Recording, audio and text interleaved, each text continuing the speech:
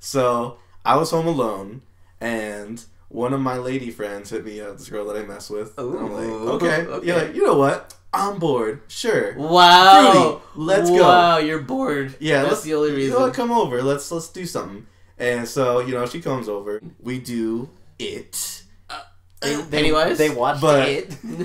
yeah, we watched the movie and it was excellent. So we finish up, right? And then like um, I go to the bathroom. I'm not even dressed. I'm not decent. And all of a sudden, I'm coming out of the bathroom. My sister runs across the hallway Uh. because I guess she came home. I didn't hear her come home. She came in that bitch like Splinter Cell, and she runs across the hallway like, "Chana, what the fuck? Get out!" She looks across the hall and she sees the girl that I'm with. then she looks back at me, Uh. looks at her, and stands there for like five seconds, and I'm like, "Fucking leave!"